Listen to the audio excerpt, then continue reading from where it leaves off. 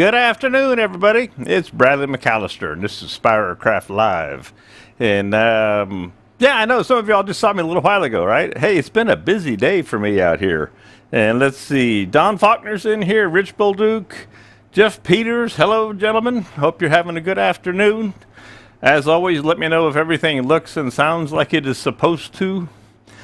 Uh, no craziness or any of that good stuff. Um, I want you two guys to notice I finally, finally changed. It's now winter out here in South Georgia. We've got mountain peaks and snow covered barns and everything all up in the window. So now it'll be springtime before I know it, and I'll have to put the springtime picture back in. But I was in working on other stuff today, and uh, so I made that change after way too long. Uh, let's see. Uh, Jeff, you watched the announcement. That's cool. Uh, hope you join me there in Milwaukee uh, in April. Rich says, sounding good here. Thank you, sir. Uh, nice looking lathe, absolutely. And Rich, you know what I just kind of figured out? The uh, the labels, the, the badging here on the back side, I may just take off and move to the front side. Um, just because that's also where the where the remote control kind of goes. And so nobody's going to ever see them back here. And I know we were talking about getting some badging out on the front here for the lathe. So I'm thinking, let's just unscrew these and if I don't tap it, maybe I'll just uh, adhere them to the front of the lathe, something like that. But this is uh, the new Nova Nebula that we brought in a couple weeks ago. It's ready to roll. Today we are turning a hollow form. Uh, I, I, said hollow form or forms. I do have two here, but I'm sure that I'll only get to one. This is from my pecan stock um, that some of you are aware of. Let me get this controller out of here. Uh, I went ahead and got one piece all, I say all round, I got it to knock the corners off of it. Uh, let me jump you into the overhead here. Yeah, I cut two different pieces today, one end grain and one face grain. Uh, double double side tape. Don't wrap what? don't tap.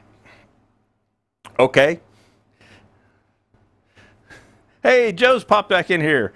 Anyway, so I got one of them knocked into round uh, relatively speaking, but it's still got some flat spots on it. This pecan has some awesome grain in it, but also it was interesting. See this this section right in here where this is still where I peeled the bark off.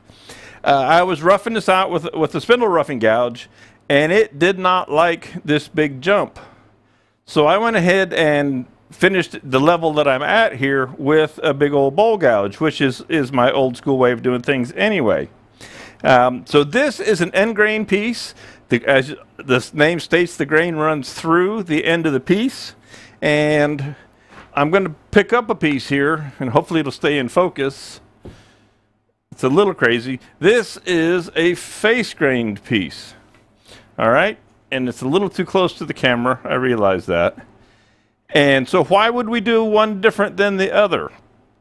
Well, in the end grain piece, the grain is going to run all the way through the piece nice and straight, uh, have a nice look to it and all that. And, you know, you cut across the, the on the face. Let me pop up the uh, overlay of five here while we're at it. There we go. I got that overlay reduced a little bit too. Um, you know, this on this piece, this is going to be the tenon end, and this is going to be the top. But so when we cut across, we'll be cutting across face grain, but when we're hollowing down the sides, we'll be cutting face grain. Now, I'm going to jump up here to the big camera because it's just too hard to show you. On this guy, uh, the outer edge of the piece, so here's all the bark and all the nastiness, and that's why I really didn't want to tackle this one um, first because it was really na nasty. But you can see the uh, the the white sapwood out here. And that would make, in this end grain piece, it would make a nice little white cap for the piece uh, when you turned it. So depending on how you orient the grain gives you a different look and a different effect with the piece. This one I think will be really pretty. Uh, it is kind of wonky. Uh, th that's what was uh, left over from a couple of weeks ago. This this is the other half of the bulk coring that we did. And so I cut them both just because I had the saw running. Decided to go with the end grain piece, but you can hollow, make hollow forms out of either end grain or face grain. It, it technically doesn't matter. Depends on the look you're looking for. Okay. And I'll set this guy back up here. Michael McEwen, good afternoon, sir. Good morning still for you. I believe it is. Um, I'm glad to see everybody popping in here. I hope everybody's had a good holiday. Uh, we did. We went up and visited with my folks for Christmas. Uh, and quick note, I will not be here next Thursday. I'm going out of town again uh, a little after the first of the year break. And then I'll be right back because I have to get ready and go out to do the Woodworking Expo tour, right? 12 weeks on the road. But I will be here every Thursday. Uh, the schedule means that is set to where I don't fly out until Friday mornings or possibly late on a Thursday night. So Spiracraft Live will continue even though I'll be on the road on Fridays, Saturdays, and I'll be home Sunday night. So life should continue semi sort of normal and all that good stuff. I'm looking forward to doing those shows and continuing with my live stream uh, here. And who knows, I may pop up live out there on the road some too. Uh, I haven't been out there doing straight education in a number of years, so I really am looking forward to it. So that, and I'm gonna do all kinds of fun stuff. So that being said, let's get going on this piece of uh, pecan. And I'm gonna pop you back in the overhead. And I have a, Supernova chuck down here just where you can see on the left uh, with a step drive in it, locked in there, um, and a, a Rotour 60 degree live center on the other end, so it's just between centers here. And it did loose it did loosen up a little bit on the first go and just would spin, but now we're good to go. So the next order of business is still to finish getting this into shape. Again, this left hand, or right hand, excuse me, end is going to be where the tenon is, and this will be the top up here. And once we get things turned around, it should still stay right in the view of the camera. All right? And I need a quick sip of water. Hard to believe I had to turn the air conditioning on in here. But probably that's because I was running around like crazy all morning. All right. So we're going to keep working on just getting this this craziness out of here. Um, when we get the hollowing, I will be using uh, the Woodcut Tools Pro-Forme hollowing tool. And right now it has the straight shaft in it. And I did replace the missing grub screw from a couple of weeks ago. And I also have, as while I'm at it here, reaching over, pardon my head, I have the bent shaft for it and the slightly bent shaft. Don't know which ones I'll get into. I also have the Flexi Hollower uh, available. And I also brought out an old standby of Easy Wood tools. Uh, this is the old number three full-size curved cutter. Yeah, might throw that into the mix. Like I said, I always like to mix in just a little bit of this, a little bit of that. So let's get this guy going. Uh, the speed I have it running at right now is 730. And I'm going to reach around here. And I have also, what I'm attacking this with is the 5 8 Carter and Son bowl gouge.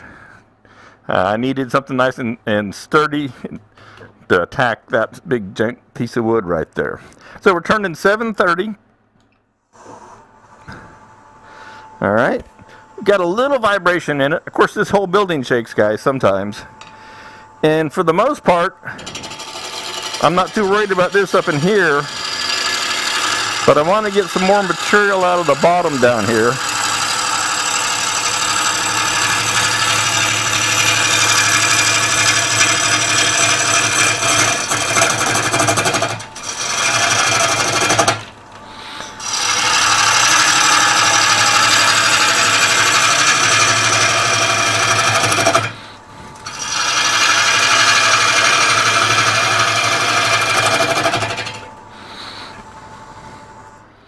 Take a quick look here. See how that brake kicks in on this Nebula?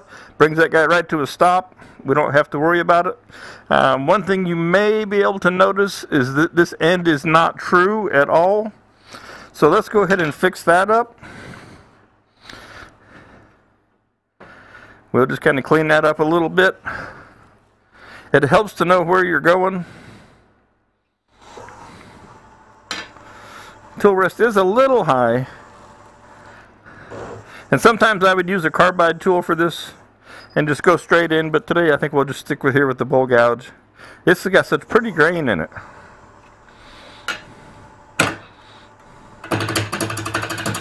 Pretty far out of round, out of true.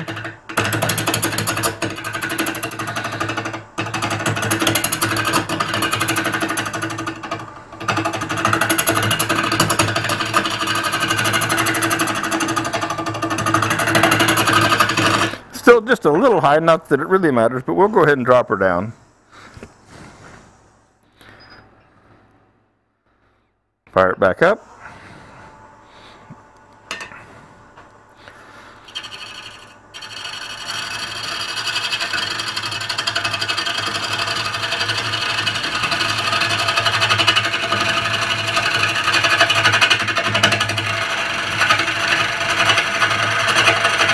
Getting it flat's half the battle.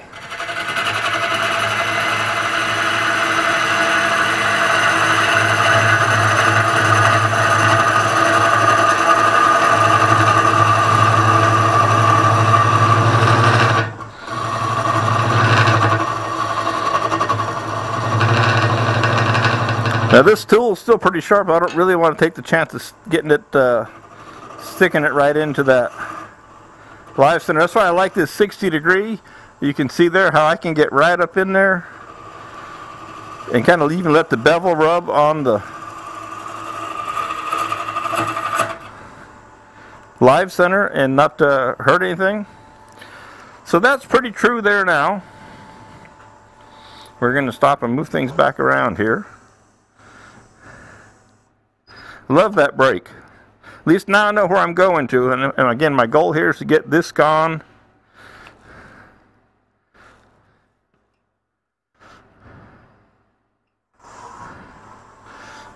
I'm going to check tightness because again I am in the spur or step drive.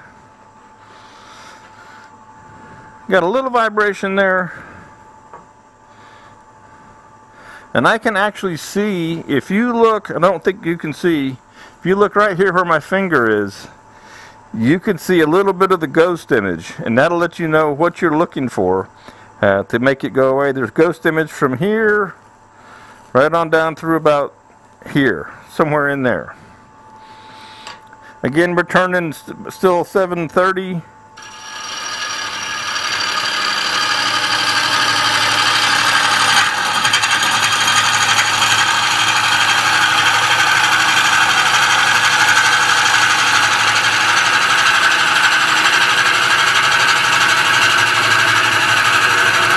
Now the question I have for myself is what kind of, what's the shape, the overall shape of this thing going to be? So we're, we're actually good here, but we still have a little bit of bark there, or inclusion.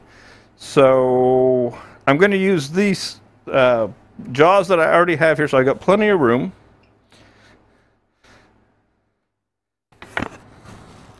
Didn't hold that button quite long enough. Two seconds on the on button on the remote. And I'm going to give myself a little more speed here now.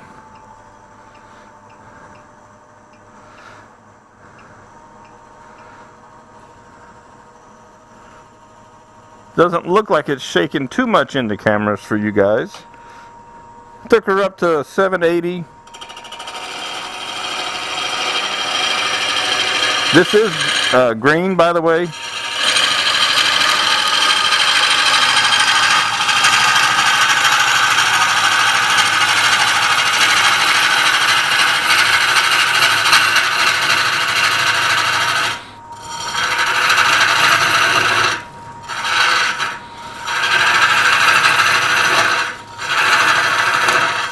All right, that's probably pretty close.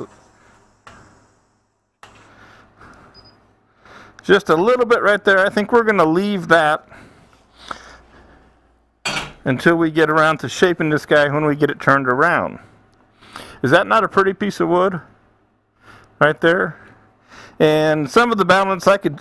I'm going to come in at the top here real quick because some of the vibration is coming uh, from this top being out of truce, I am going to grab a square style carbide cutter and just go clean up that top. Let me see where I'm at here. One thing that will be nice about going on the road is my tools will get cut in half. And so I will only have to look through half as many tools to find what it is I'm looking for. That'll be a nice thing. You know what I mean? Uh, you just can't make that decision when you got too many tools. Which one do I want to grab? There we go. Let's just go with this guy. Raise the tool rest up. Sorry about my head, my visor there. All right. We're going for center axis. And we're just going to clean this guy up. We'll sneak this tool rest in here as close as we can. You can see how much that turns out of true.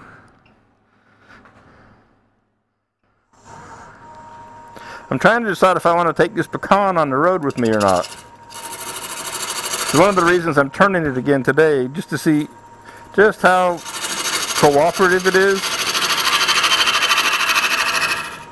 So I'm just over there in the left-hand corner of things.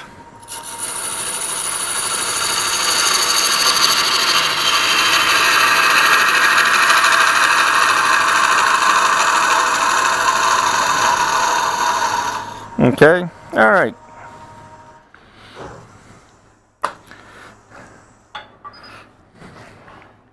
And I'm going to reach around to find my calipers.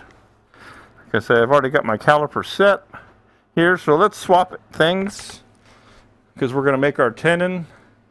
Let's go ahead and make the program 5 and the inset there.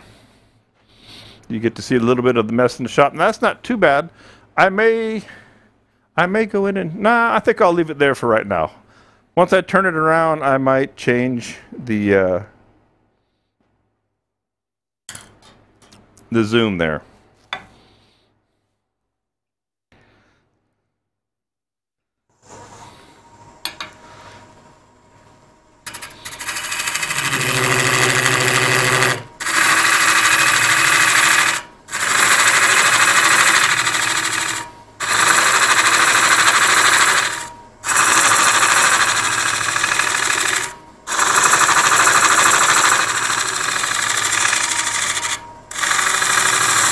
So, you know, the carbide tool makes it easy.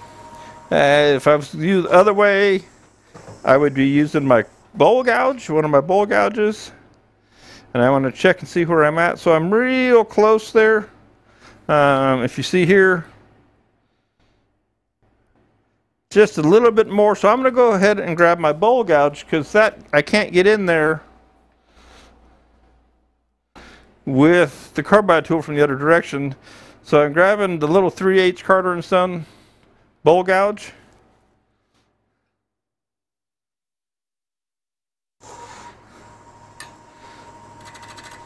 And I'm going to drop this back down.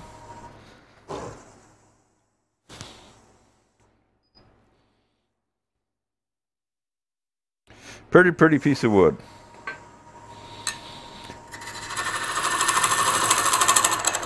Just finished cleaning that up. We'll make that down to next to nothing here in a minute.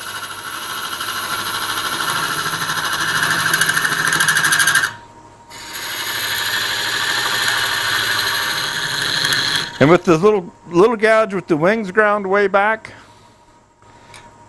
it'll let you get in here and make that tenon pretty easy.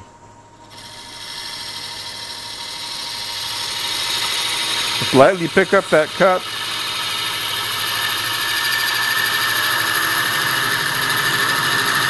Kind of making the dovetail all at the same time. Double check that I haven't gotten too far out of line here. Looks pretty good.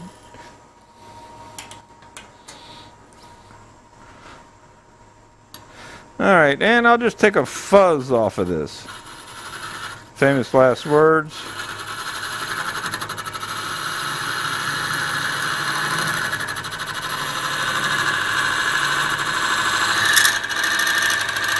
And hopefully you can see how that just reaches right down in, makes that corner. Cuts, so cuts your bevel and your flat for the most part all at the same time. And then we can come in this way, clean that corner up as well. We can flatten this up some more just by the little shear straight back out if we want to.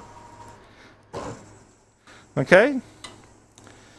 And so we are set. We have our, our tenon, we have our dovetail. Now all I have to do is get rid of this little nubbing amount of material in here. So I'll just take a little detail tool, a little carbide detail tool, and take 90% of that away. Raise that back up a fuzz.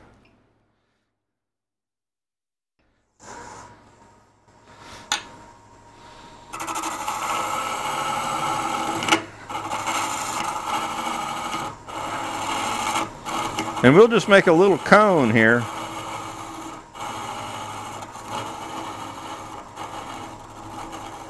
Very, very small. And in the overhead, you wouldn't quite be able to see it. But I got just a little teeny, teeny, teeny, teeny cone there. That'll pop right off with the chisel. All right, this is nice and flat, and we can make sure of that. And just come across here. We want to make sure that it's not domed.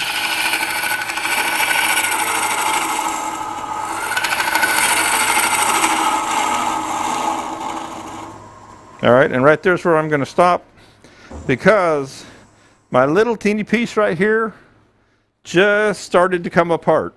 So as I was making that last little cut there, and I'll show you this, I'll catch it.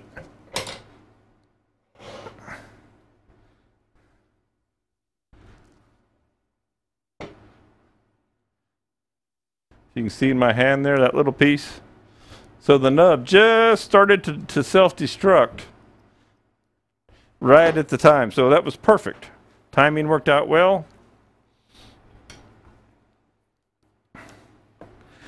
We'll just pop this guy off of here. Let's see what we can put it up against. There we go. I'm supposed to know where my mallet is, but not necessary. All right, so that cleaned right off of there. Here in the chuck, you can see the step drive, spring-loaded step drive that was holding the other end. So now we're ready to mount this guy up. And then we'll see what we got for if we want to adjust uh, the camera today or not.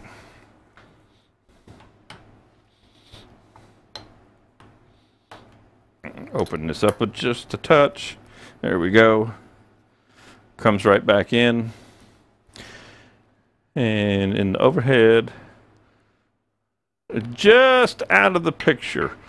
So I'm going to move this over just a fuzz, which will also help the other camera, or it should.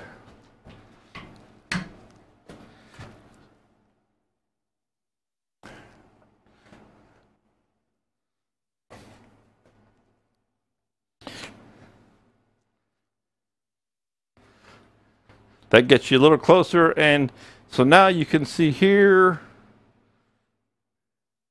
that we have a, just a, a reasonable gap.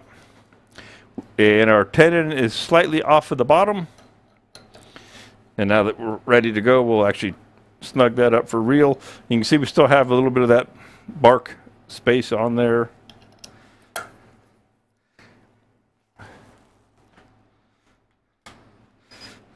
Now I'm going to slow this back down just to kind of test the speed and see how she feels. So that runs pretty true. Matter of fact, it runs nice and true. So that's all good. Good deal. We're going to go ahead and continue to tighten that up just a little teeny bit. And I will bring the tailstock back up because now it's time to shape this. And the question is, what shape do I want to make? I Don't know. It, uh, oh, wrong one, Brad. Let's go there and take that off. One of these days, this thing is going to start to respond like it's supposed to.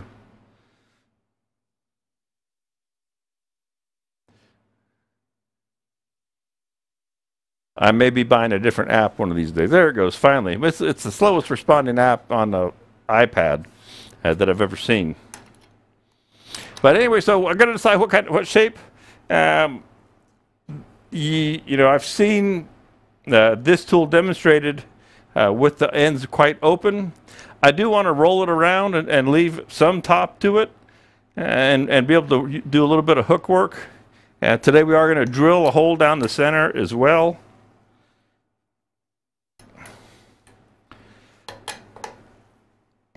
All right, that's pretty snug.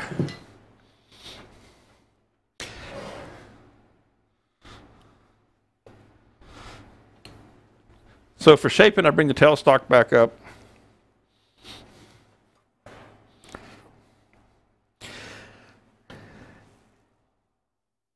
Give her a spin. Two seconds. There we go. So obviously Hey, Dutchman's in here. Jeff, thanks for dropping in. So 500 is um, not an issue. Now, we probably will go back to 500 for hollowing, but let's jump up to 750. I love this pre-programmed to the Nebula, so I just punch a speed, punch a button, and I've got a new speed. And let's go ahead and give this guy just some, some general shape and get rid of that bark inclusion. So we'll go back into overhead for that and we'll give you an end shot for the overlay because you don't need to see me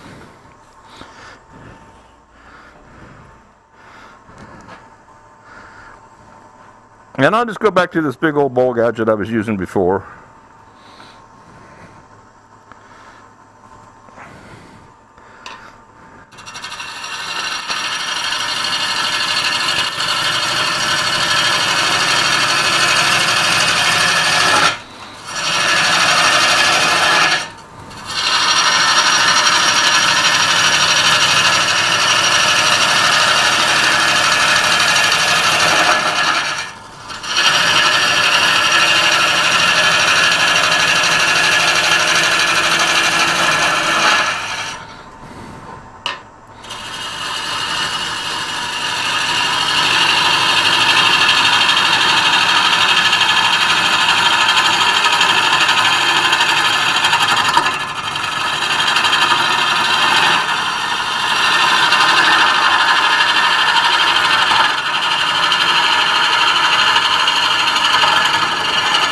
Now this pecan tree has been notorious for having some really crazy grain in it. Let's see if there's anything going on right down in here. Just got a lot of pattern to it. Nothing super bad. I'm going to turn that speed up some more. But I'm going to do it manually now. Get myself a little more speed down in here.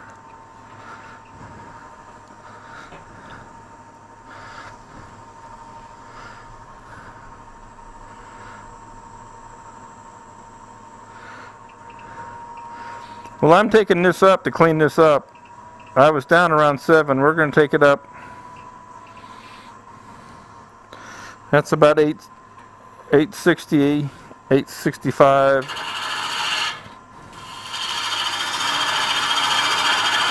And again, this is green, so it's going to move. So I don't know. I'm not. I don't know what I want to do with this guy.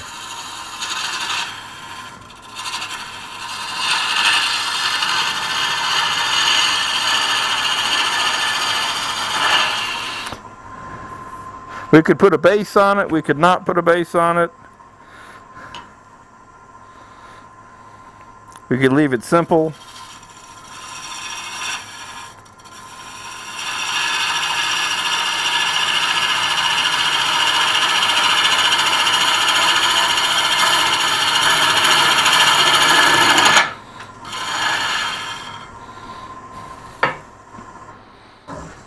Uh, it is pecan.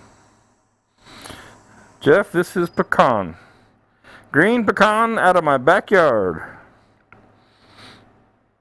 Still got that little, I needed to stop and look there, so we still got that, that's got to go. So that helps make part of the decision for us.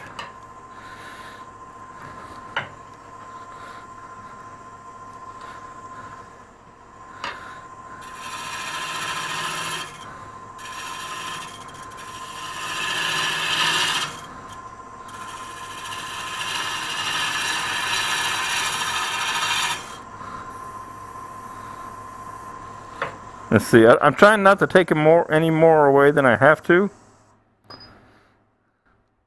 All right, that took care of it. That is some fantastic grain.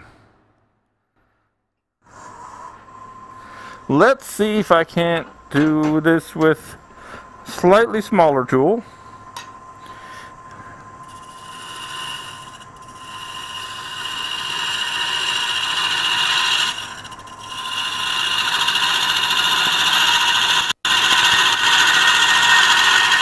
Clean it up a little bit better.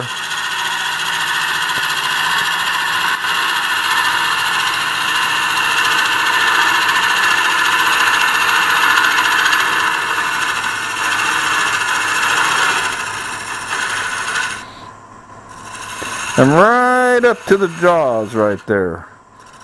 So I'm just going to leave a little bit of a flare right there. And Let's come up here and work on this top. So we'll go, we'll switch gears here on you.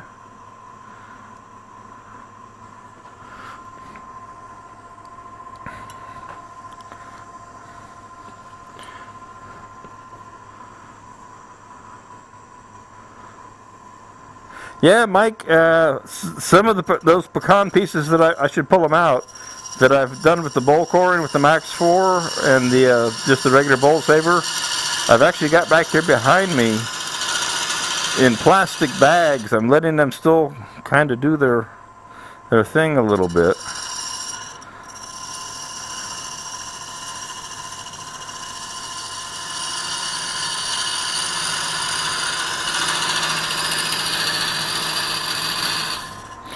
So the question is, what do I want to do with this shape, you know?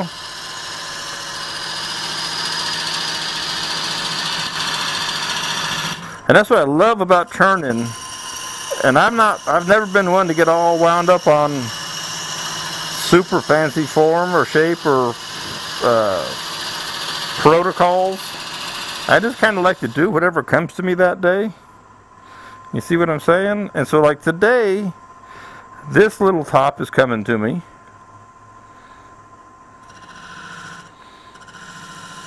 And it's a little dark in here in this corner.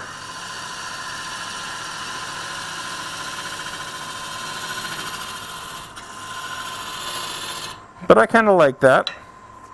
Kind of like that look. And we'll round that over. Come around the end.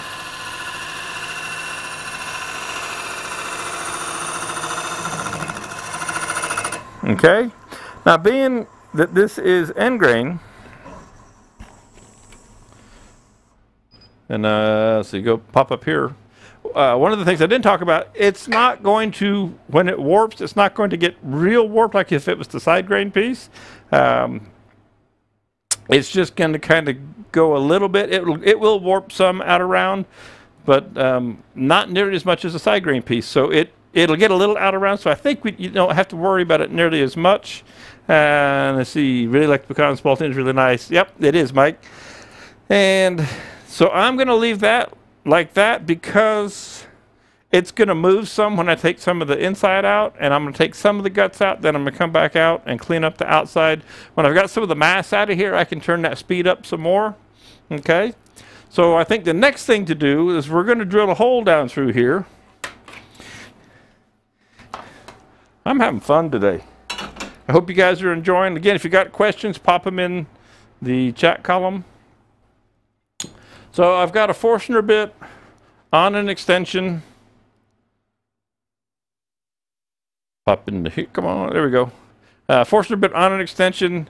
And so without even measuring, you know, I know that if I just run in probably to all that I can get, I will leave about two fingers worth at the bottom, which would be safe.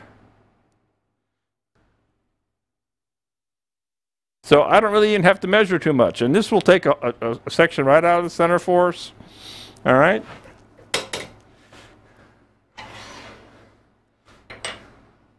Left our tip in there.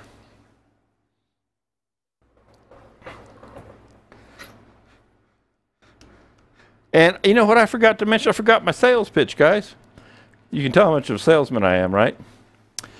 The Pro-Forme hollowing tool kits.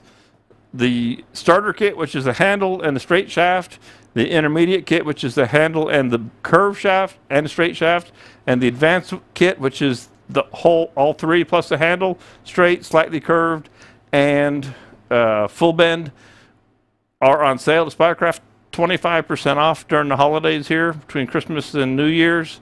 So you can save 25%. That's a lot when you take a, a kit that's about $700 for the whole thing and it's down around 500, uh, just a little over 500 right now. Um, so that's a great savings. I forgot all about that. Again, you know, the non-salesman and me, I'm just here to, to uh, teach you how to, to do things and make wood chips and have a good time, enjoy myself. But these these Pro-Forme hollowing tools are on sale at Spiracraft right now at 25% off. Forgot all about mentioning that. So check it out. If you don't have any of these, uh, feel free to, to call, email, text, anything, any questions you might have about them. You can jump on YouTube and see them being used a lot and all that. And um, I think we may be the only people that have got them in stock right now to speak of. Uh, so anyway, if I can help you out with getting it hooked up with these, let me know. Hopefully, I'll do uh, a good job with them today and get this guy hollowed out. Yeah, Jeff, the little wonder tool is pretty cool as well. Jeff Peters there is referring to this guy, the little wonder tool. It's a cup style tool. Carbide or high-speed steel, uh, just on a, a, round shaft, and I've, I've, got it mounted up in the uh, twin collet handle. Works really well for doing boxes and things like that. Super fun and easy to use. All right. Ah, throwing stuff on the floor.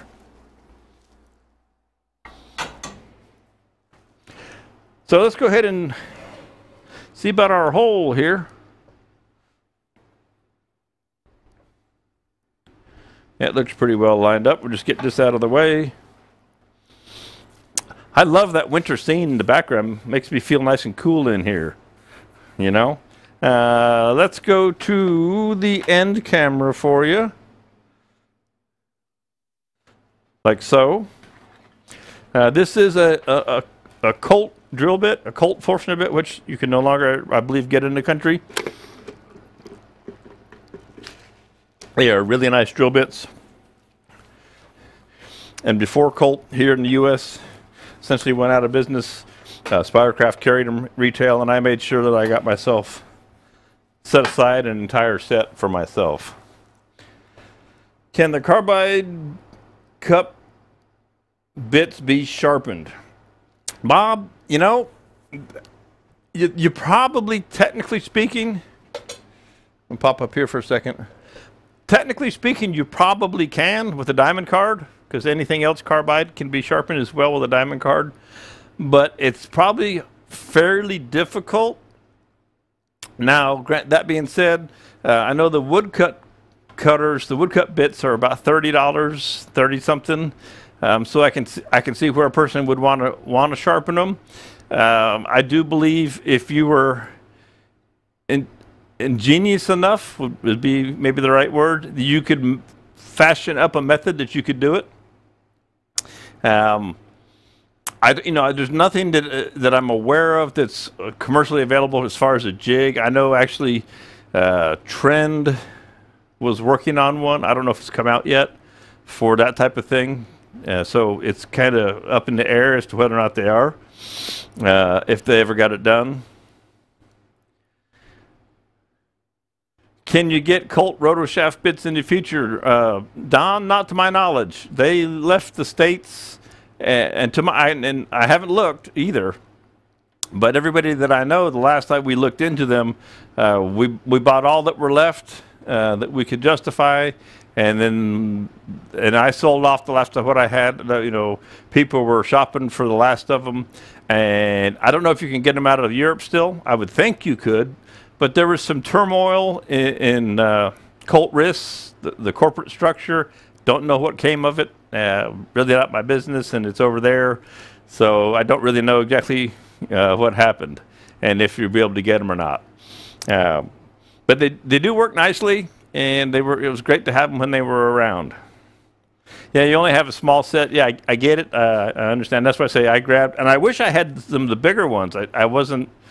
I didn't have enough foresight. I would love to have had you know two, two and a half, and all the bigger three, whatever the, the biggest things they had, and I should have. But I, of course, you know, if I had a crystal ball, well, it'd be a different world. So, um, to my knowledge, we can't. There aren't anybody, any vendors in the states uh, carrying them. Don. If I hear of them, I'll let you know. Okay, let's go back to four, five. And I will put on my mask just in case something were to happen. And I am going to slow this back down and drill around 500.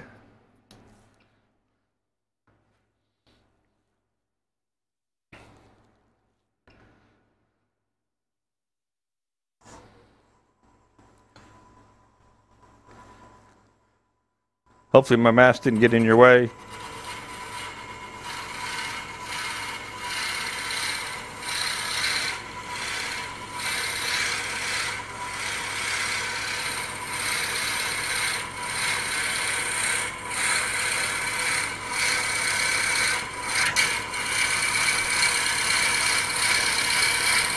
So it's easy drilling.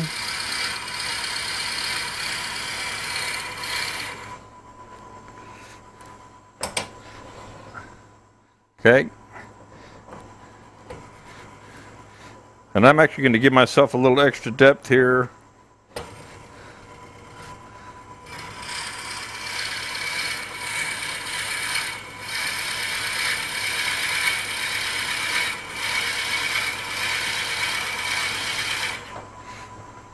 And I'll just pop this in and out, pulling on the tailstock.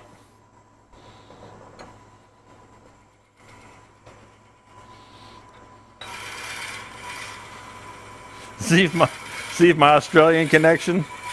Yeah, I need an Australian connection.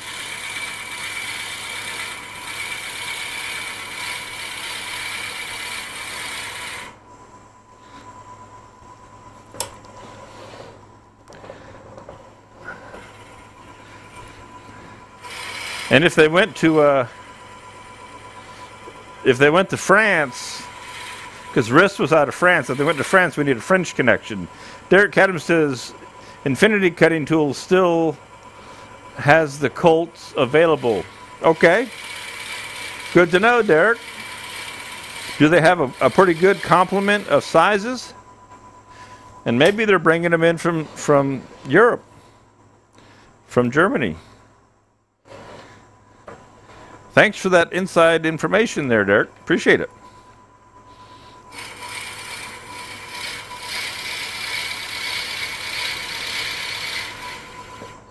And I'm going to stop right there since I'm pretty well quilled out.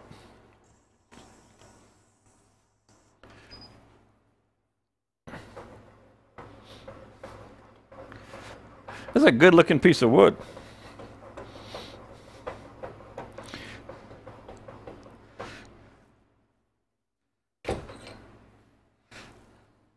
Now, from my, you know, thinking about what I want to do with shape and all that, I'm going to go ahead and, and bowl gouge this down inside. We've still got our recurve out here. So I think we'll make a pretty good size hole in this guy, or opening.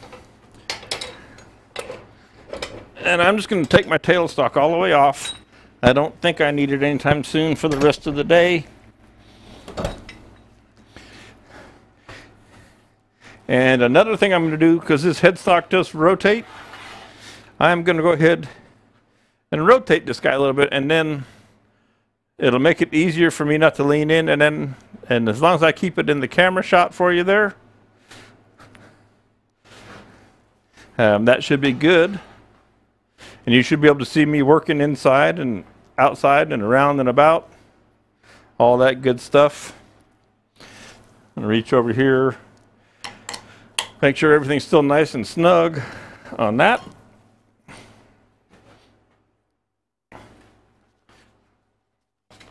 All right.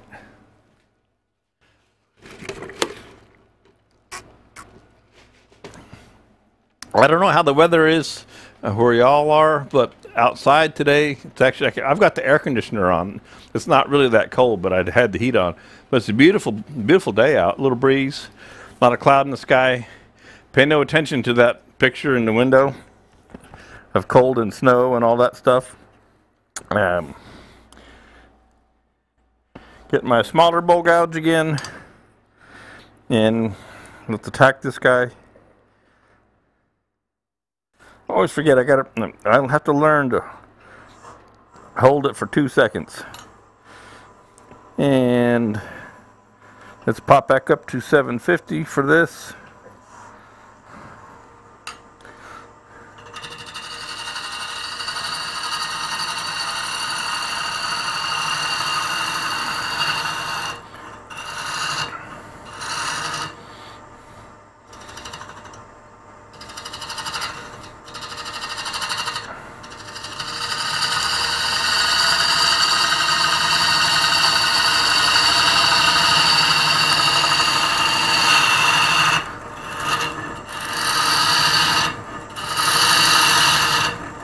Now this can be done with the hollowing tool, but I'm just old school. And I like to I like to control the shape of this inner bell, if you will.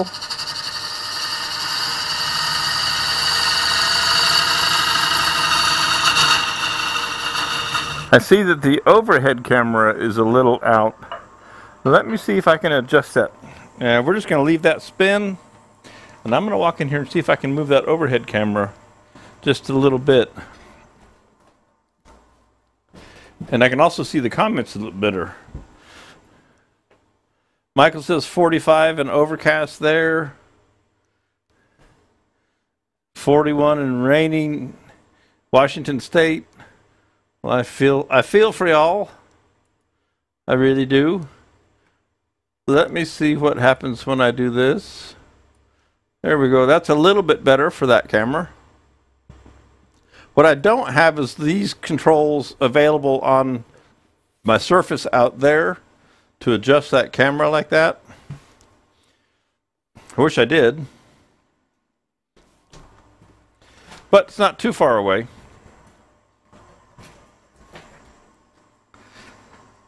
Okay. Back to work here. How we doing on time? We're all good. 153, so 2 o'clock. Oh yeah, we're all good.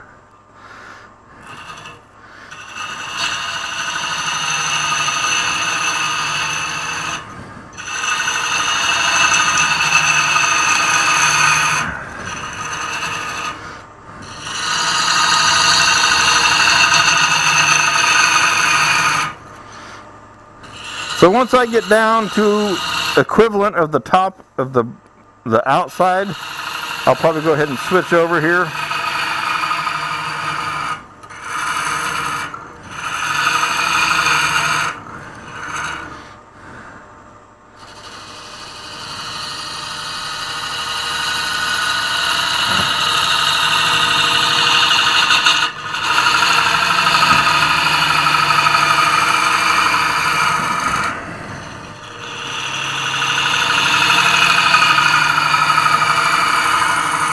You know, it's just, it, I, I tell you, to be quite honest, it's, um, it's hard to break old habits. So pre-fancy hollowing tools in my turning time, I, I would have gone just as far as I possibly could uh, with a bowl gouge. This just, that's what I had. And then I had an old arm brace. I still do arm brace hollower, which will beat you to death. Uh, and so I just got used to just hollowing as far as I possibly could with a bowl gouge, and I'd go to a bigger bowl gouge until I got my arm brace tool out. So that's just kind of me. Uh, you know, like I say, I could start. I could have started sooner with the Pro-Forme tool. It's just it's ingrained in my head. Well, if, if I got a tool in my hand, whatever it is, and it's working, I'm going to go as far as I can go with that tool. Uh, why change? because I, you know, I used to turn a lot. I mean, all day, every day, and sell in galleries and craft shows and all that stuff.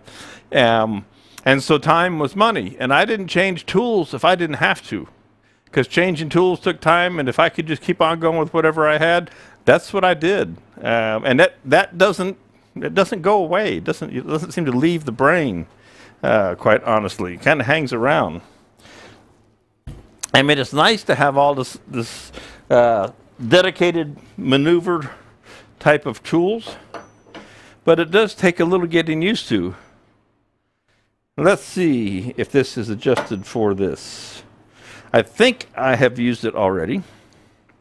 And I'm going to move this in a little bit for now. The less overhang, the better.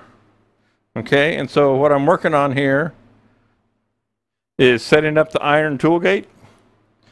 And the iron tool gate, irons tool gate, excuse me, it's a one inch post. It has a stop collar on it. So once you set your stop collar, uh, you don't, you just drop it in and you're all good to go.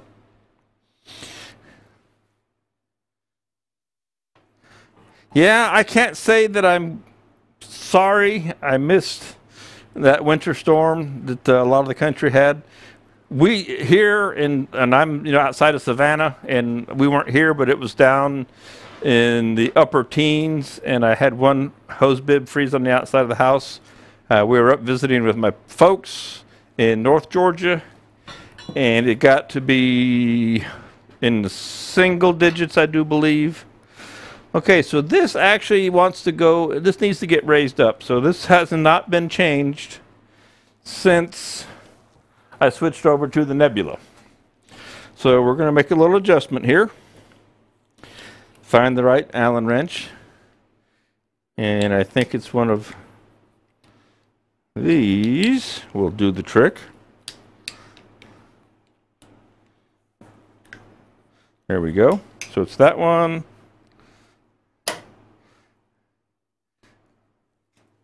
And we will get this guy set up to where it's cutting at about center or so. Yeah, so the no snow in my life, of course, is going to go away here shortly when I get on the road. Now, Atlanta is the first show with woodworking expos, and then Charlotte, and then I think we go up to Springfield, Mass. So I've got till about the end of January, early March before I have to get cold. Okay, that looks about that looks about right. And again, if you're not familiar with this tool, it has a hook style uh, cutter on it. And then it has a brass, what they refer to as a gauge on the top. And that gauge is adjustable and it leaves just a slight uh, gap here for your cutting edge to cut. And it is adjustable and the tool can be sharpened with a diamond card. Okay. And if you need lot, if you need the long reach, you can add a second handle here on the end. So this end matches that end, and you can have 40 inches of handle if you are necessary in the need of. Okay, let's see what we got going here. We have 750. I'm going to take this back to 500. It, it likes working at a, uh, these cutters like to work at a slightly slower speed.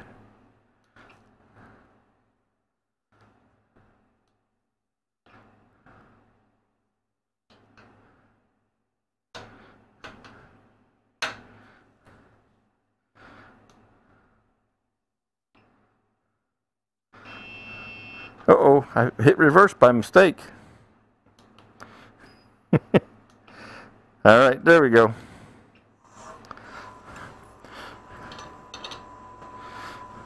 So hopefully I'm out of the way. I'm leaning up against the lathe because I like to do that.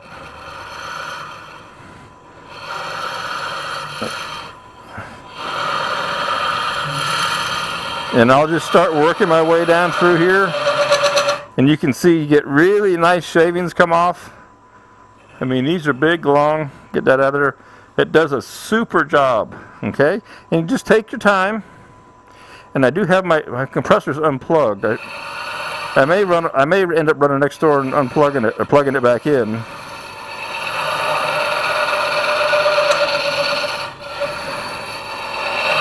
Just to clean, keep this cleaned out. And I'm going to lift this up so I sound a little better.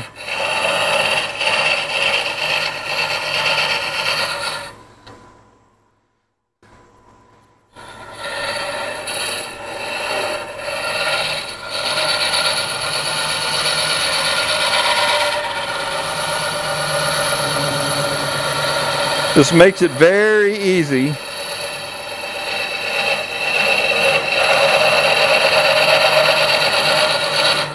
The tool gate, uh, this tool rest, I when I first got this this tool and started using it, I didn't use the tool gate tool rest. I was just loving or loving. I was looking looking at the uh, Michael's comment, loving the, the ribbons. Um, I was just using a standard tool rest. And this gate with its hook feature and tool, the tool rest down in there, it gives you great leverage. And I'm actually going to move it over, I think, just a little bit. Um, and once you get comfortable with it, uh, it's, it's really, really nice uh, to have the extra leverage. Again, I'm trying to I'm trying to see if I can do what I need to do without getting in the shot with my shoulder for you guys.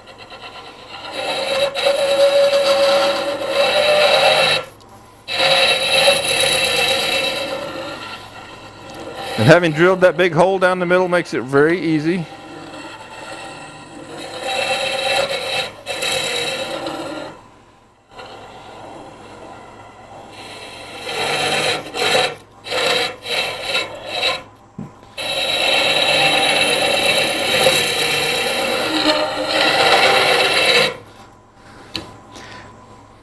And I, I'm going to take a, a two seconds, well, a minute, a minute. I'm going to go next door where the compressor is located and plug that compressor in so that I can use compressed air to blow this out.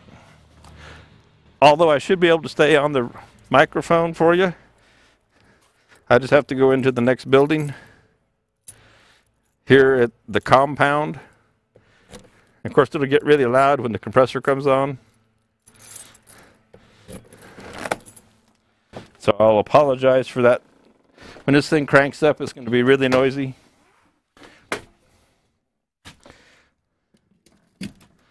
Maybe I can get out of the realm here.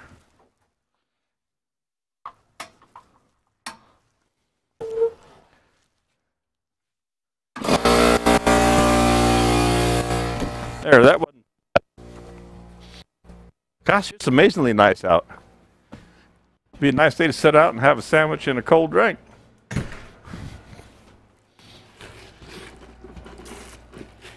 Okay, back to work. How much of the, cutter? How do you know how much of the cutter should be exposed? Well, Don, it's it's kind of a. Uh, the first thing I found was that it, when it comes from the factory, I'll pop up here for a second. Uh, when the factory setting is pretty good. Matter of fact, it, I messed with it just to see what happened, and there is. I, I don't have the numbers in front of me um, there is a, a, reference amount, it's, it, it's very slight. And they have a new video out that Phil Irons did. I'm pretty sure it's out. Uh, talking about adjusting and sharpening the cutter. Uh, yeah, I'll rub it in, Michael. Um, and and I found that it's just a very. I mean, it's it's. I, I wish I had a number for you, Don, to, to tell you exactly just how much you want to overhang. And it also depends on the wood um, things like that. So, you know, experiment with it and you can leave the gauge in. If you, if you start adjusting it, you know, you run the risk of getting too much. And that's what I did. And I had to kind of get it back to where it was.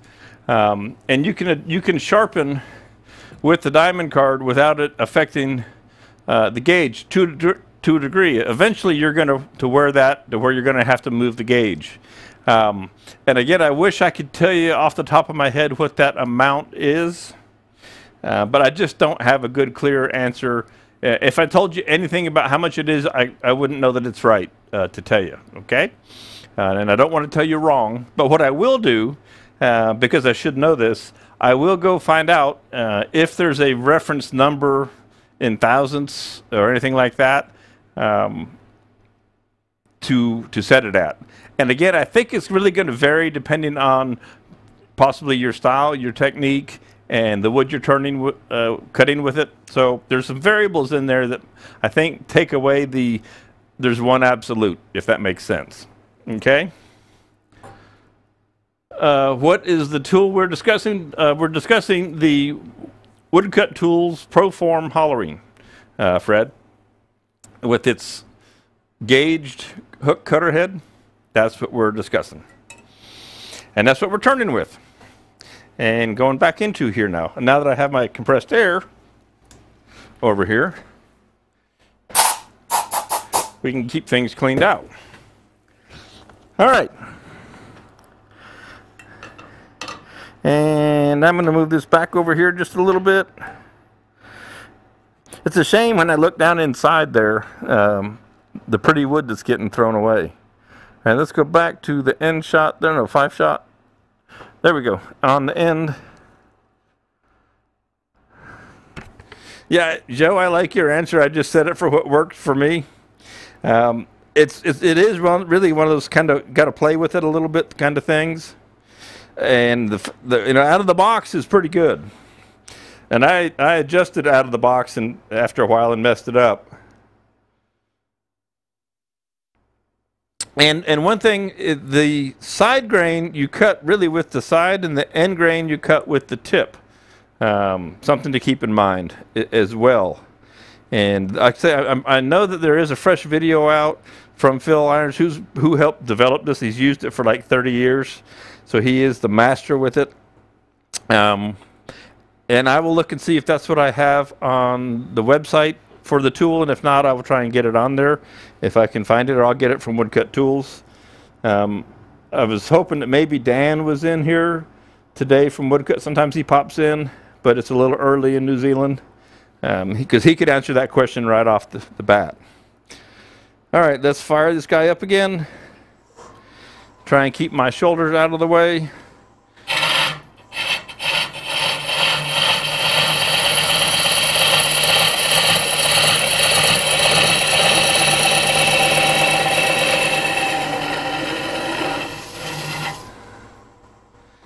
Plenty of chips coming out of there.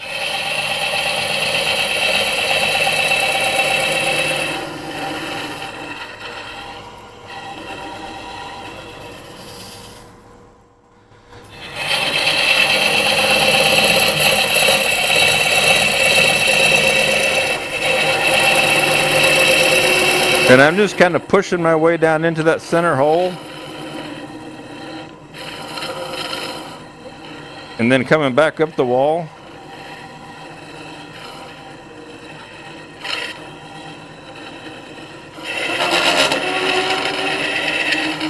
And of course, hollowing is all by feel. That's the one thing about it because you can't see what you're doing down in there.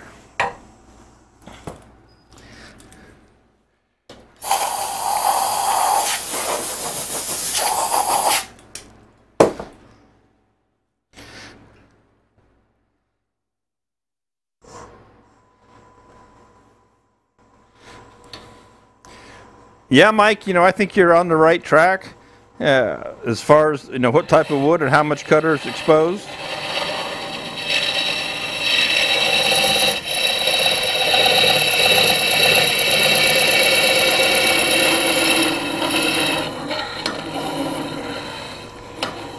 And to be quite, you know, I haven't spent a lot of time with this tool. I don't get a lot of time these days. I wish I did. When I was when I first started turning, and then especially when I first turned hollow forms, uh, I turned like a dozen hollow forms it, for my first go um, with my old tool. And I got it figured out. By the end of the week, I had a pretty good clue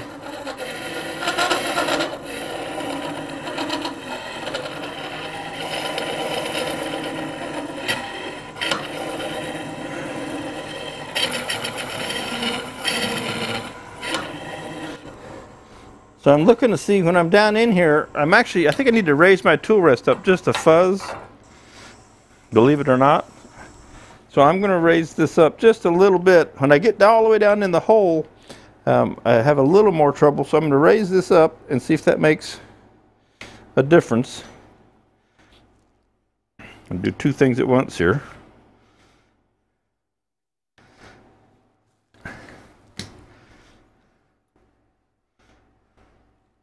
See if that makes a difference.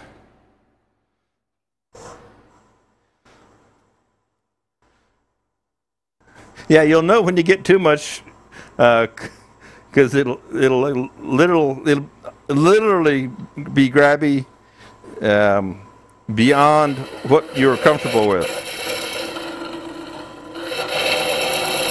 So raising it, raising up the tool rest there, help me with down in the center. I was just a little low down in there and, and wasn't cutting like it should. And I, I mean, I raised it up less than an eighth of an inch.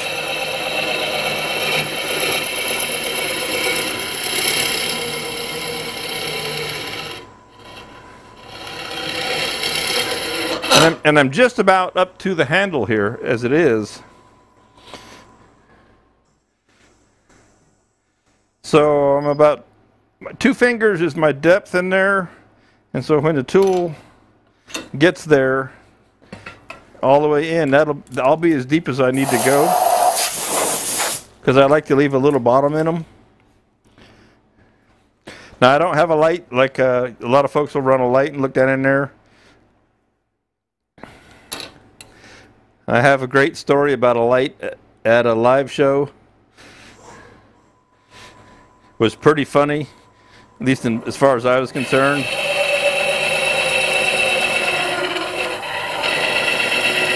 I was turning, I can't even remember what I was turning. I know where it was, it was in New Jersey. And I had a light up on the headstock. I got I got to jump up here for you. I had a light up here on the headstock, one of the big magnetic lights, and something, I don't know if it was vibrating or if something uh, popped loose, but it fell off. The light fell into the piece that was spinning, spun around with it, ripped the cord in two, the electrical cord. The electrical cord started arcing uh, without tripping the breaker on the circuit for the for the for the stage. And some guy in the front row got up and just threw his stuff down and walked out talked about how, how dangerous this and that was, one thing and another. And I think all I did was get the light tangled up in the lathe while the piece was spinning. I don't know what he was upset about. Um, I do remember. I'll never forget that particular event, and I don't think I've I don't think I've run a light since, to be quite honest. Jump back in the end here. All right, go on down inside here some more. So we'll be able to switch over to the hook tool here pretty soon.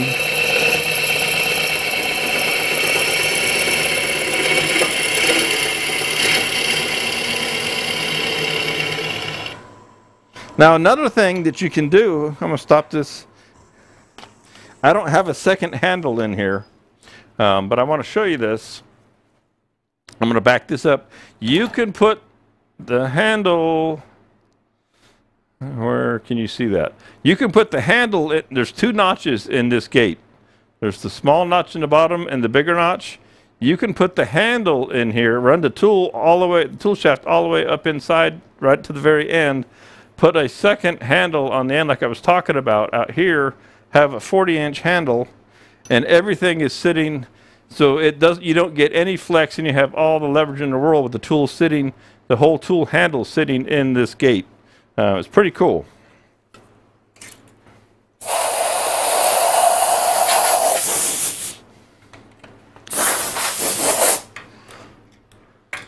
All right, a little bit more to go down in there.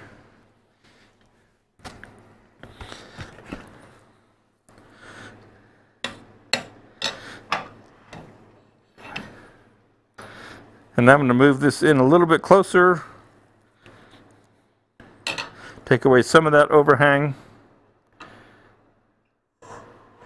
All right.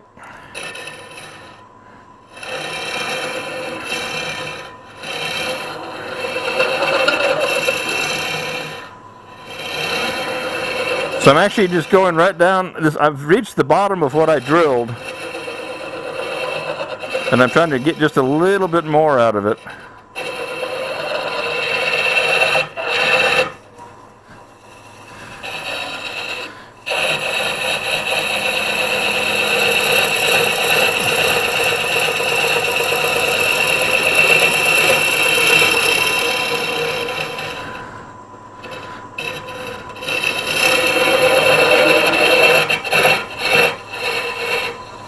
All right, stop and clean her out.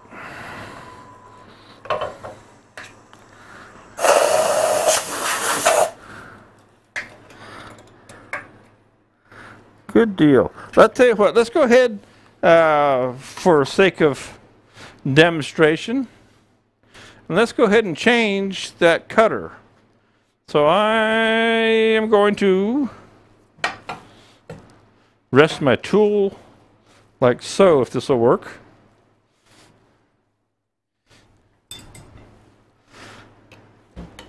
And change out the shaft. Just loosen up the screws. And I had it pretty far down in there. Pops right out. Now the curve tool has a flat on it. The other one is round all the way along.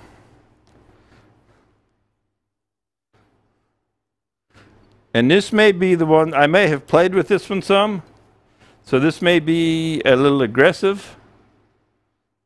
We'll find out here real, real quick. As Mike says, you'll know because it'll get all kinds of grabby. So there's the curve tool. That's going to allow us to reach in around the corner so I need to back up my tool rest just a little bit so that I can start to reach around here. Okay.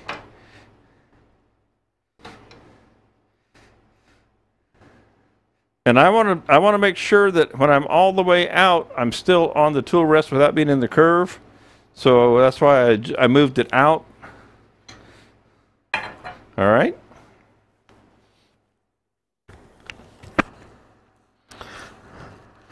Let's see how this is set. This will this will answer a lot of your question there, Don. We'll see how it how it does for me.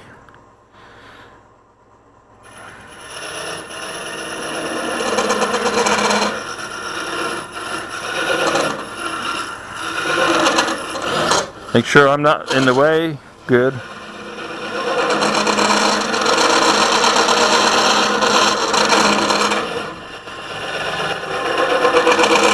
This lets me reach right around the corner there, no problem.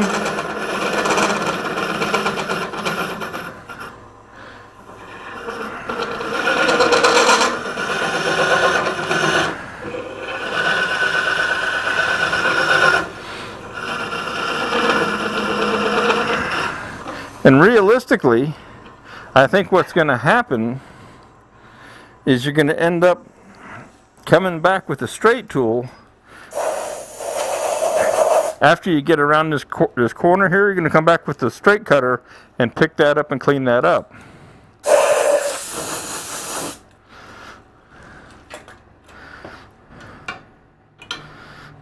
And we'll pick her up again here. I mean, it works super efficient. And there's, you know, it's, um, principle is the same as if we were using, say, this Easy Wood tool. But we don't have any way to put a tool like this in this.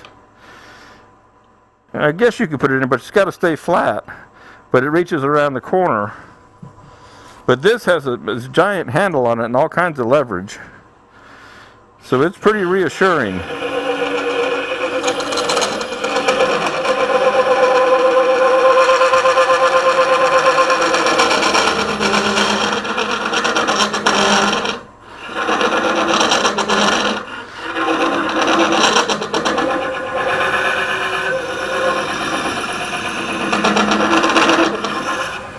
I would say ultimately that I would do is is have one handle with a straight and one handle with a curve cutter, and I would go back and forth.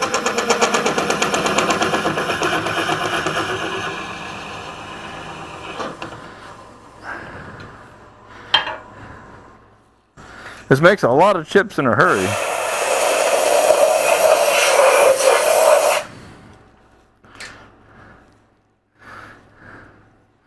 Yeah, that's what I, I would go back and forth because I have to figure out how to get that other cut right there. I'm making a little bit of a wall. So let's see if we can take care of that.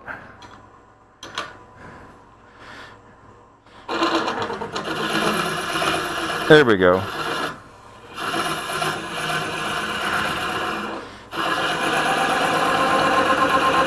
I just had to find that lip and pick up the cut there.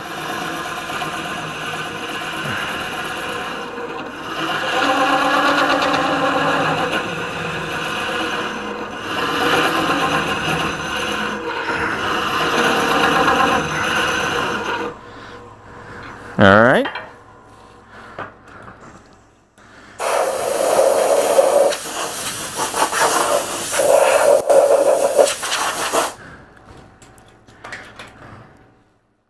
Very nice. It reaches, it goes right around the corner there, follows the curve nicely, easily, and right out to our change in profile out here.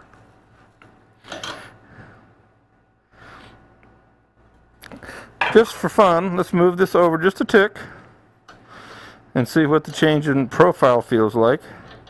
I mean, sure, you could move the you could move the banjo as well. So you got all the adjustments in the world. Um, as you go real deep, you could move this inside if the hole was big enough. Lots of different options.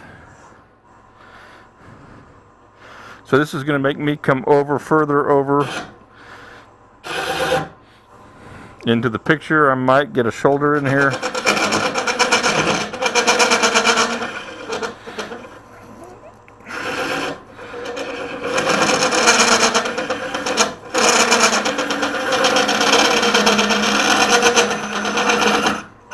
My preference, I actually like being back a little bit closer to the center here. I'm going to move it back over.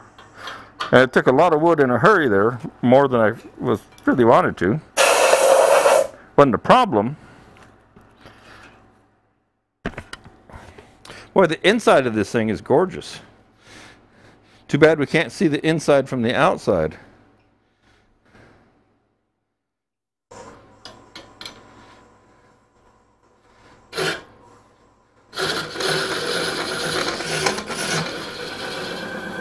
So I'm right up against that lip there.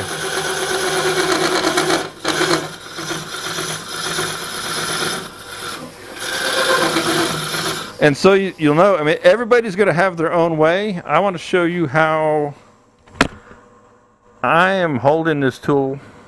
So I'm going to pop up here. I've got the tool, and this is this is me. I've got it levered, cantilevered underneath my arm so that I can lean down on it. I have good leverage from my shoulder.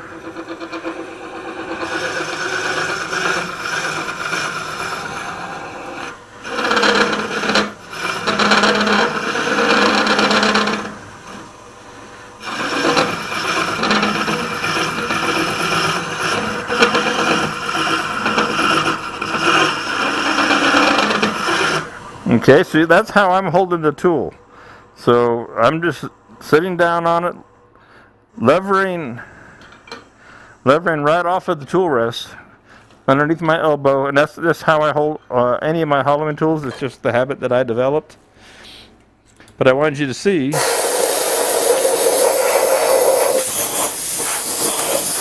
Just in case you were curious, just how I was holding that tool. What chuck and jaws are you using? Uh, Jeff, it's a Supernova 2 with the 100 and 100 millimeter jaws is what's on there. And I'm tempted to go back to the straight tool now because I've come around the corner here as much as I want to.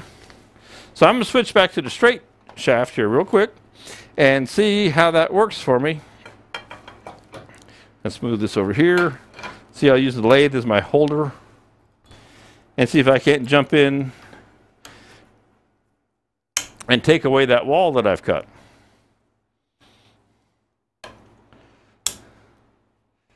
Yeah, they're the hundreds.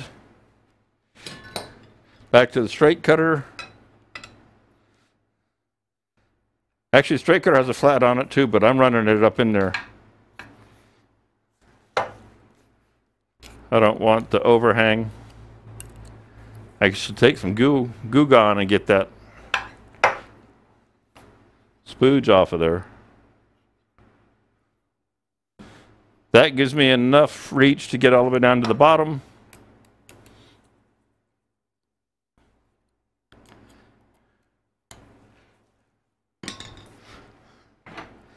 All right. And then I'll pop you back into the end camera.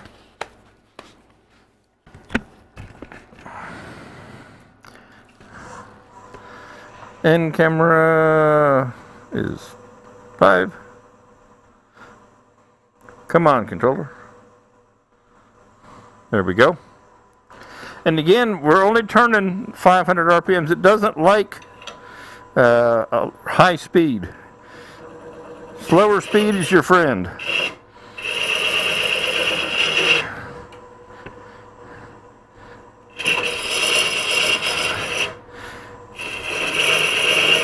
And that this works well because now I can get in here and take away those ledges that I made.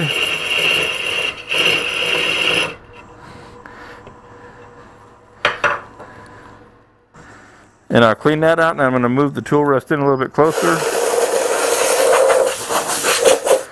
Now, if I wasn't, you know, talking to you guys, this would have been long since hollowed out. And I am going to move over and it's probably going to put me a little bit in the camera's view. And so if I lean over on you, I apologize.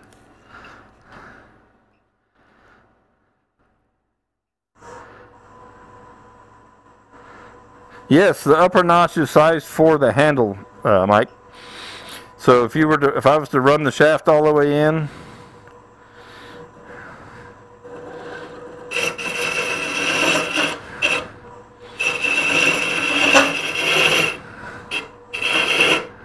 then I would be I would have that in there.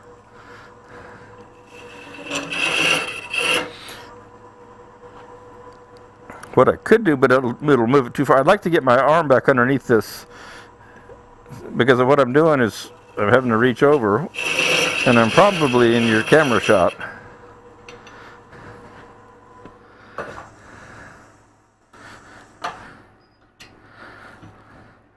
So let's do that. Let's, um, just for fun, let's, let's do this. We're going to adjust this. Of course, you have to change, I say of course, I'm not going to change the height. I'm going to experiment here. And we're going to back up and just use it up in there. All right, just for, just for fun.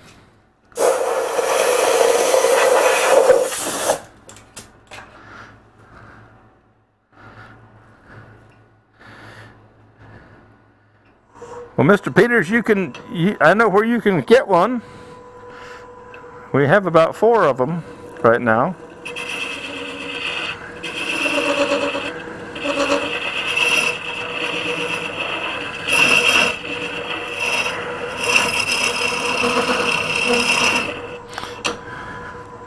So you can't do that. I need to have another handle on because that's not quite enough control. So I'm going to come back in here. Come back over to there.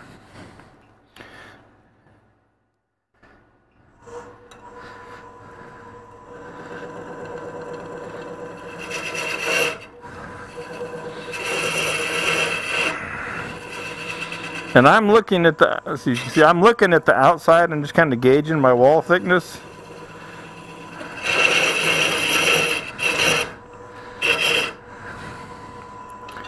I'm going to have to go ahead and run this up closer. Move that around. Clean out the chips. It's amazing. This is it's a chip making machine. That's for sure. Let's get that right up on there.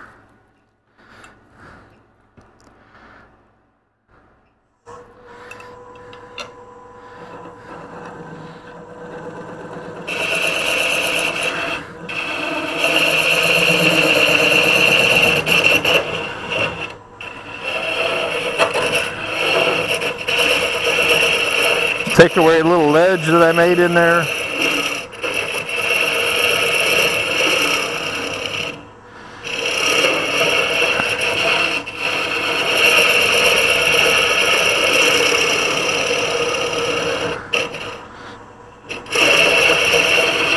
All right.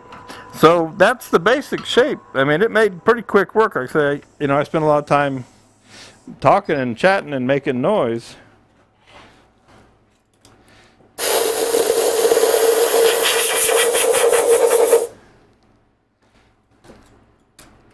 And there is, um, pop up here, come on. Uh, there also, so I've got some, ridges in there, right?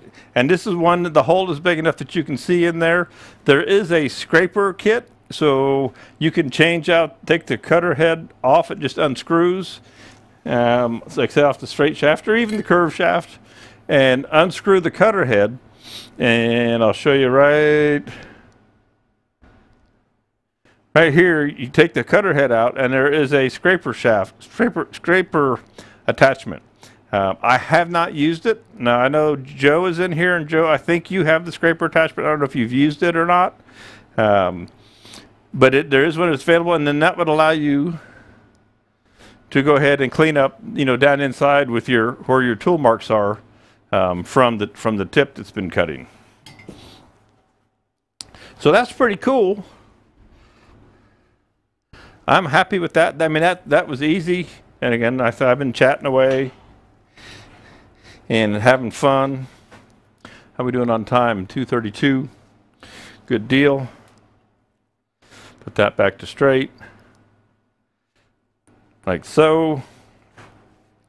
And I think just for fun, just for to wrap this up, I'm just going to kind of clean up this outside a little bit more. Take this iron gate out of here. So that is a that is a handy guy. You know, it has the one inch tool post with the, the sleeve on it.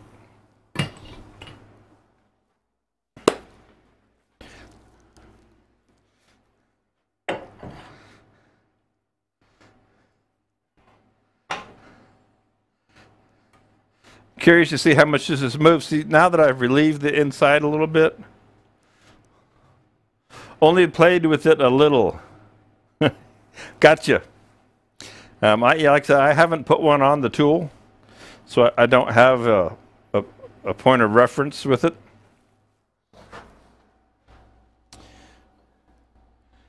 Do, do, do, and do something I haven't done in a long time. Instead of going over to the grinder, I'm going to just take, uh, this is a diamond card and a little bit of lapping fluid and just kind of hone up this tool real quick. Some people swear by it, some people don't do it at all.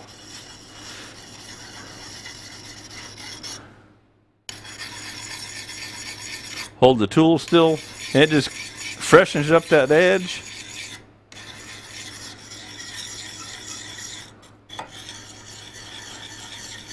Without going over to the grinder. Save yourself the trip. Just hold the card flat on both both sides. And you can see where it's cutting cutting on the top edge and the bottom edge there. It is not enough to take away the hollow grind that your wheel put on it.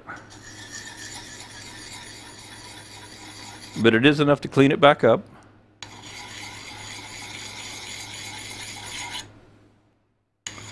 Little spot right there. And I'm using the 600 grit, uh, if, if anybody's wondering. This is a 600,000, uh, just on the 600 side. Paper towel real quick. Because we know that the tool doesn't stay ultra sharp all that long. So we give it just a little cleanup like that. All right, put our mask back on, style this guy up, and see if we can't just for fun clean it up a little bit. Um, if I knew where my file was, if I knew where a lot of things was, it's going to be nice going on the road because uh, my tools will get cut in half and I'll be able to find things. I haven't seen my flat file in a while. like how that rhymes. Um, to, to uh, smooth up my tool rest. But we'll go with it. Do, do, do, do.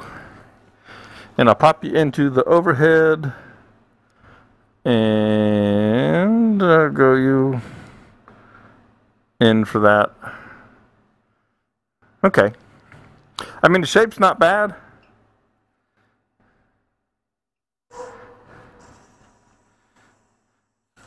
Did I hit the brake? How did I hit the brake? Actually, I want to go to 750 anyway.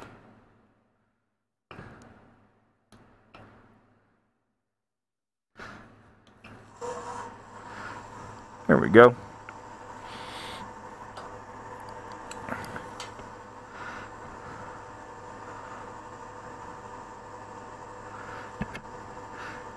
Craig says he's ready for the woodworking show in Indy. Well, you'll get two of them this year. You'll get the woodworking shows and you'll get the woodworking expo.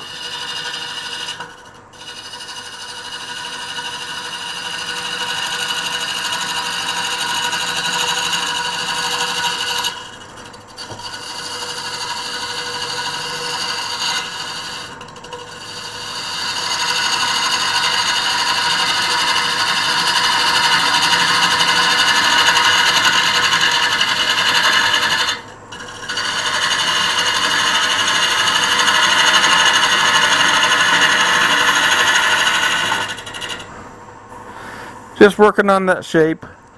And then actually another tool the Phil Iron scraper I might grab another one that will help shape this up and I haven't used it a lot either. I've, I've played with it and it's it's this is just what it's for. Now my walls are plenty thick so don't worry about the amount of material I'm taking off of here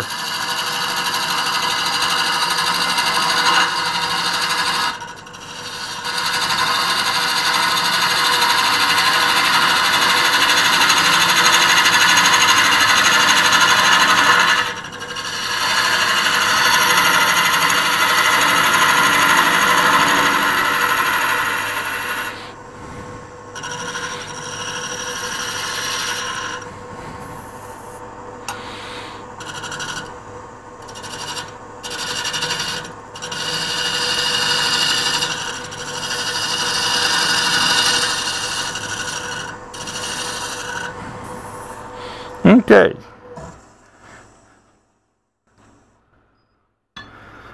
Uh, Don, yes, I'm doing just the woodworking expos and not the woodworking show. I am just doing the expos. Okay, so I've got here the scraper. Again, the Phil Iron scraper. Phil Irons is very, very close with woodcut tools. And again, it's another one that you can tune up with a diamond card. Now, I'm just going to go ahead and use the big one that I've got here. And I'm going to take the burr off the top.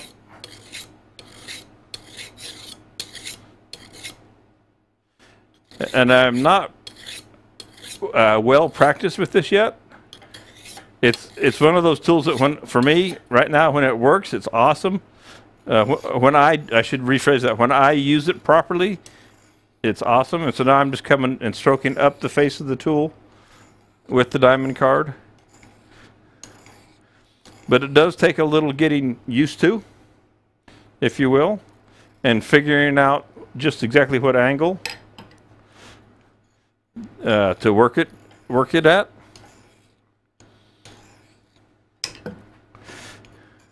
and you have the beauty is you have three sides to work with.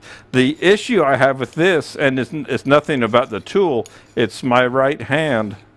I can't hold on to this round shaft very long or very well without a tool handle because my hand is pretty well shot. They want to do surgery on it, but they tell me I'm out of, I won't have my right hand for six weeks, and I just don't want to go there. And it's a 5 8 shaft, and I just don't quite have a handle uh, hanging around all the time to stick it. I need to put it in a handle.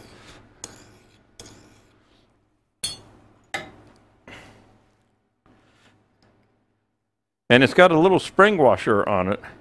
And if you do it just right, you can move it.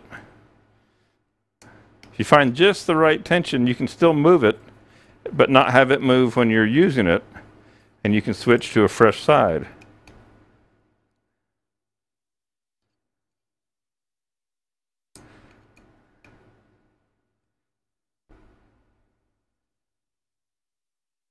Okay, we'll try that like that.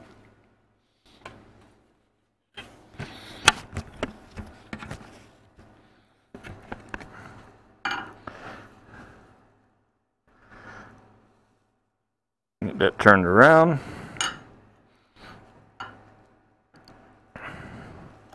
Drop this tool rest down a little bit more.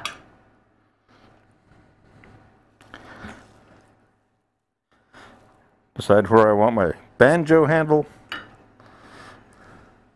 About a 45 degree angle is what's recommended. And then you just kind of have to work with it.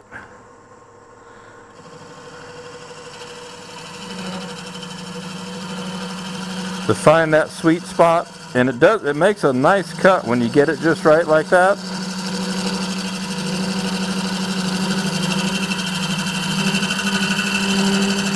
and it will clean things up very nicely. Trying not to get that touch like that in the bottom because I got that recurve down in there now.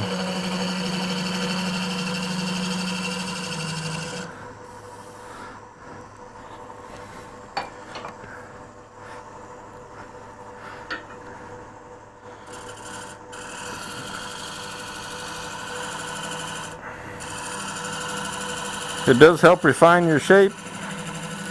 Again, I have to be careful reaching up in that corner. I'll try and get up in there with just the corner of the cutter.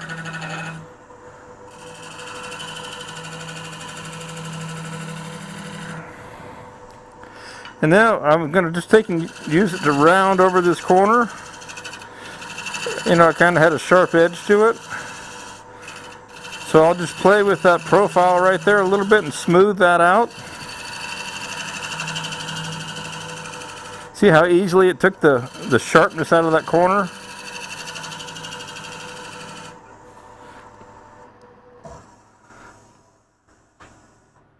Uh, can you grind the negative rake on it? I'm certain that you can, Jeff, uh, if you're so inclined.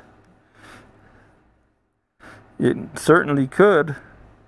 And other than this right here, where I, I got to figure out how to deal with that, that essentially took all the tool marks out, rounded that over very nicely. Let me see if I can't get down in here and do a little better down here on this end.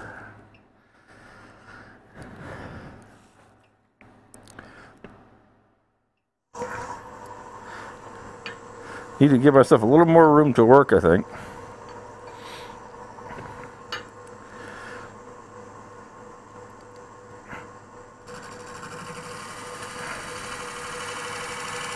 There we go.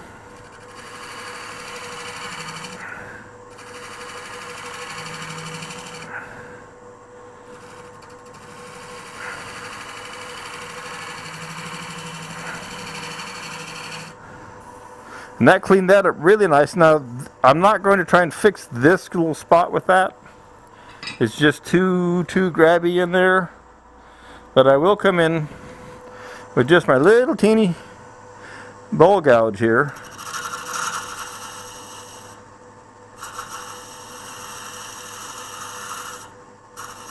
And right up to the jaws and just clean that up. Let's see if I got, there was a little bit of torn, torn grain there.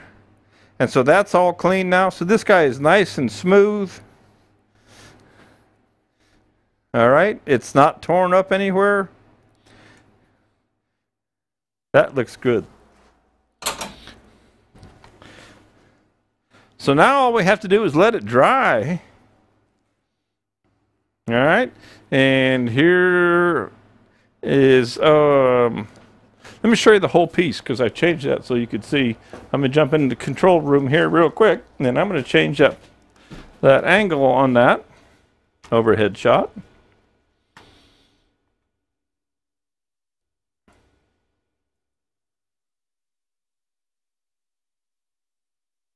Bring that back over so you can see the whole thing. I mean, it's a simple shape. It's nothing uh, to win awards, but it is a nice shape. Put you some flowers in there and stuff like that.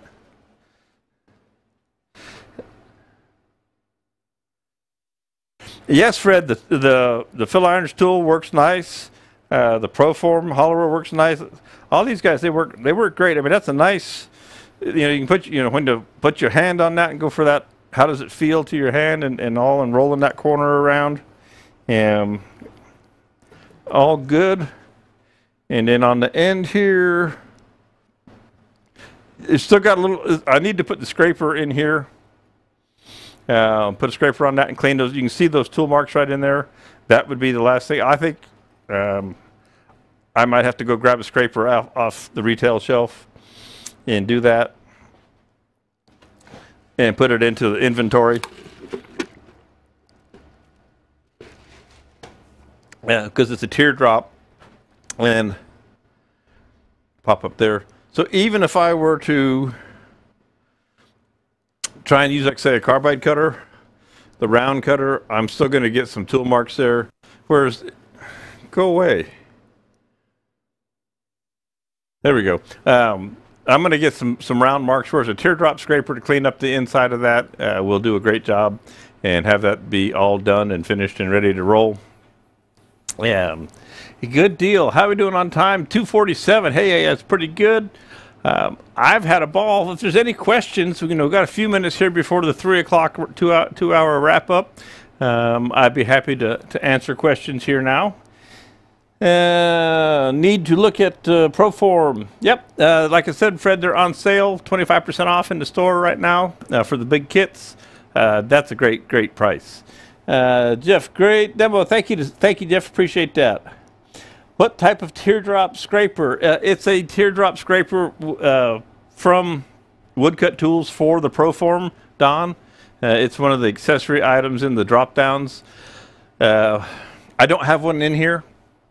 I've got them over in the other building where the where the product is, uh, but I don't have one here to show you. I didn't I didn't think about it. Running around this morning doing the quick other live uh, introduction for the expos uh, kind of threw a curve at me. Uh, not that I'm always the 100% most ready person, but hey, uh, I'm usually pretty close.